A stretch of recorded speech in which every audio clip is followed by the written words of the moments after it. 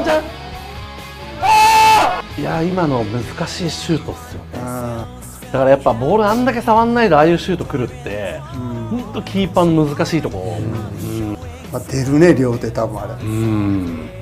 遅かったんではい緩い分余計にっすよね。ねまあまあ仕方ないですよ、うん。あれしかないですよね。うん。うん。まあ悔いは残ってると思うよ本人は。いやそれはもう。まあ肩でいったらいけたんちゃうかとかもうちょいステップ踏んだらいけたんじゃないかとか、ね。絶対悔いは残ってるけども、うん。もうで勝たなきゃいけなくなったじゃないですか基本的には、うん。はっきりしたっていうのはいいことだと思いますけど、うん